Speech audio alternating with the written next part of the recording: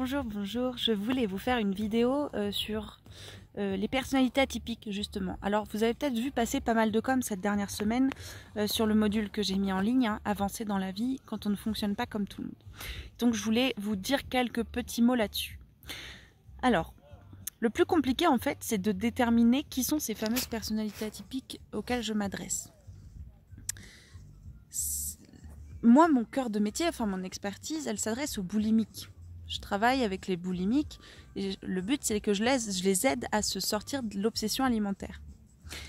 Euh, donc quand je passe par ce prisme-là, c'est facile parce que je sais que dans 99% des cas, une personne qui souffre de boulimie, elle a une personnalité, une de ces fameuses personnalités atypiques. Alors pour autant, on peut, euh, bon c'est rare, mais on peut être boulimique sans avoir cette personnalité atypique. Et puis on peut surtout avoir une personnalité atypique sans être boulimique. Et euh, on pourrait être tenté, et ce serait quand même le plus logique, d'utiliser des termes psy pour déterminer euh, quelles sont ces personnalités atypiques. Le problème, c'est que ces termes peuvent faire un petit peu peur, et puis, comme je le disais, ce sont des termes psy, et moi qui ne suis pas psy, je n'ai pas vocation à poser des diagnostics. Donc, euh, j'utilise pas forcément ces étiquettes. En revanche, ce qui m'importe, ce sont les caractéristiques de la personnalité atypique. Je suis désolée pour la vidéo qui bouge un peu. Je suis dans des conditions quelque peu rustiques, bien que très sympa. Et du coup, je peux pas trop faire de montage, etc. Donc, plutôt que d'utiliser des étiquettes, je vous disais, euh, je fais recours à des caractéristiques. J'ai recours à des caractéristiques. Alors, les personnalités atypiques dont je parle, ce sont des personnes déjà hypersensibles, qui prennent les choses en général très à cœur. C'est des gens à qui souvent on dit Ah, mais toi, tu, tu, te prends trop la tête, toi, tu pars au quart de tour, euh, toi, de façon, tout affecte, tout te touche. Donc, des gens qui prennent les choses avec beaucoup plus euh, de. qui prennent les choses beaucoup plus à cœur, on va dire, que souvent leur entourage. Première caractéristique. Deuxième, c'est ce sont des personnes souvent hyper empathiques. Et de cela résulte quelques difficultés dans les relations, en tout cas une forme de frustration. Ce qui ressort souvent, c'est le sentiment d'incompréhension. Hein. ce sont des gens qui se sentent rarement compris, qui ont du mal à trouver des gens avec qui ils se sentent vraiment bien, euh, à qui les relations coûtent beaucoup, beaucoup d'énergie, sauf quand elles parviennent à trouver des personnes avec qui elles arrivent à se sentir vraiment elles-mêmes, avec qui elles ont l'impression qu'elles n'ont rien à prouver. Et ça, ça peut être très rare. Donc, ce qui revient souvent chez ces personnes atypiques, c'est le fait de dire je me sens très seule. Euh, il y a des gens autour de moi, mais je me sens très seule. Je me sens pas à ma place, je me sens à côté de la plaque, euh, je me sens pas prise en compte, je suis pas là, en fait. Hein. Donc voilà une autre caractéristique.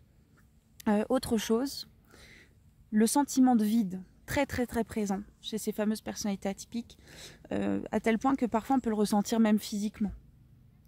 Et puis l'ennui, l'ennui qui arrive très vite, l'ennui qui fait que euh, on n'arrive pas, on ne peut pas faire des choses qui font pas sens pour nous. même quand c'est simple, il y a comme une sorte de résistance, de blocage, quand quelque chose nous semble absurde ou ne fait pas sens, ben, il n'y a rien à faire. Euh, et cet ennui, il n'est pas juste embêtant, comme il peut l'être chez la plupart des gens, il est destructeur, il est très très dur à vivre.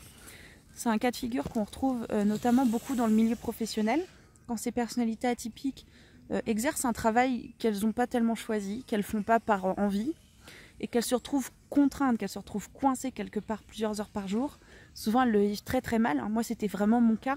C'était très très dur pour moi d'être coincée dans un bureau toute la journée et devoir faire des trucs qui faisaient pas sens.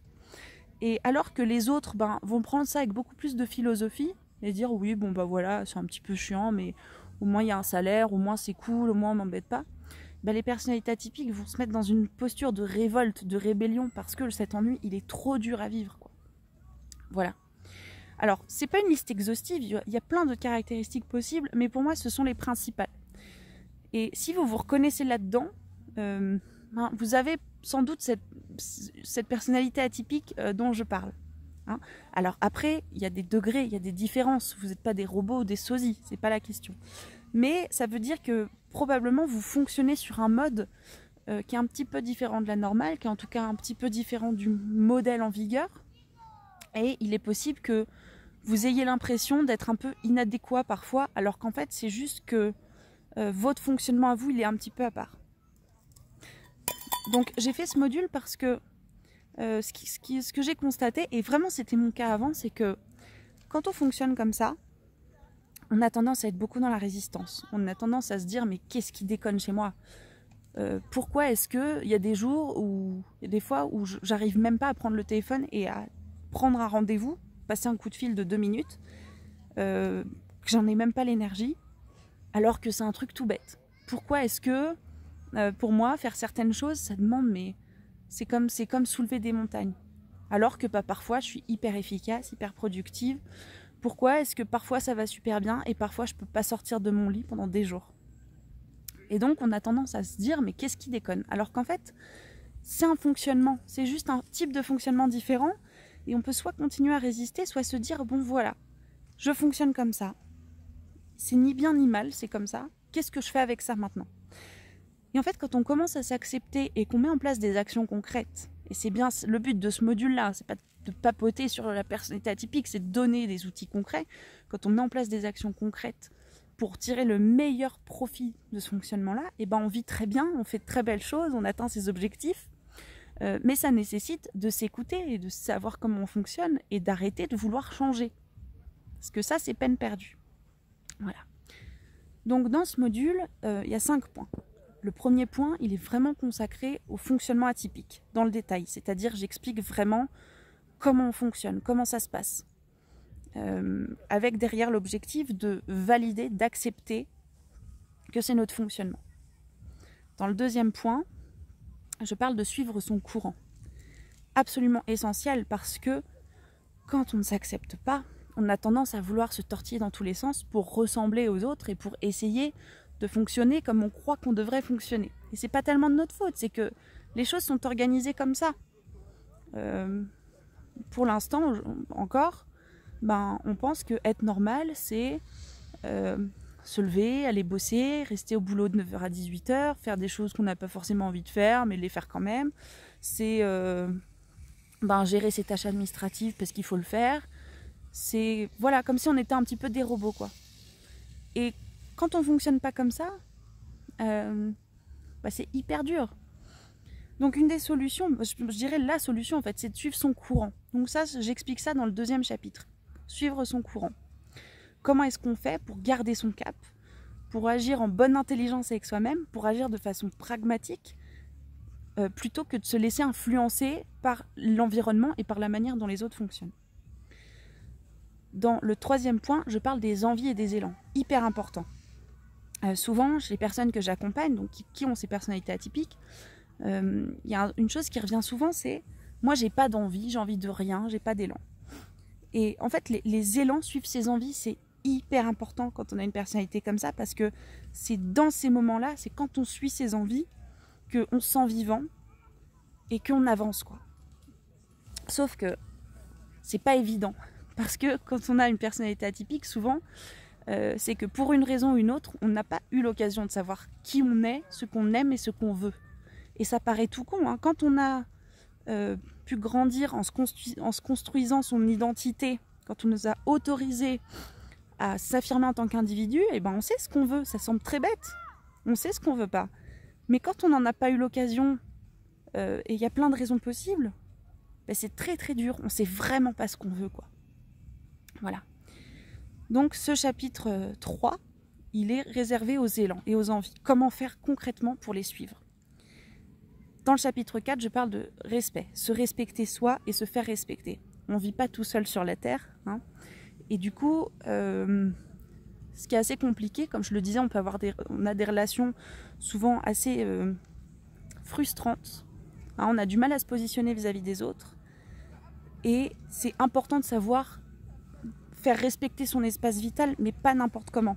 Hein, euh, avec douceur, avec mes fermetés. Donc ça, c'est l'objet de ce chapitre 4. Et dans le chapitre 5, je donne des outils vraiment concrets pour passer à l'action. Euh, alors, ce ne sont pas forcément des outils que vous allez entendre dans d'autres euh, ressources parce que bah, mon objectif, c'est bien de prendre en compte ce fonctionnement atypique. Donc, si c'est pour vous resservir quelque chose que vous entendez déjà tout le temps, ça sert à rien. Donc, ce sont des outils un petit peu atypiques bah, pour des personnalités atypiques. Voilà, et l'objectif vraiment de ce module, hein, si je devais le résumer en une phrase, c'est de vous montrer que votre personnalité, elle n'a rien qui cloche, il n'y a rien ni, ni de bon ni de mal, et que plus vous allez accepter que vous fonctionnez différemment, plus vous allez être pragmatique, c'est-à-dire vous dire, ok, concrètement maintenant, qu'est-ce que je fais? Je vois bien que résister, ça sert à rien, donc je suis comme ça, je fais quoi? Et bien vous allez voir que vous allez faire de grandes choses, vous allez pouvoir euh, concrétiser vos objectifs, mais à votre manière à vous. Voilà, donc on est le 4 janvier. Et l'offre promotionnelle, elle s'arrête aujourd'hui à minuit. Donc jusqu'à ce soir minuit, il y a une réduction de 40 euros sur le module en ligne. Ce soir à minuit, elle s'éteint et ensuite le module passera à son tarif normal. Euh, le lien se trouve donc dans la description de la vidéo. Et, euh, et voilà, tout est dit. Donc sur ce, je vous souhaite une très très belle journée et je vous dis à très bientôt. Au revoir.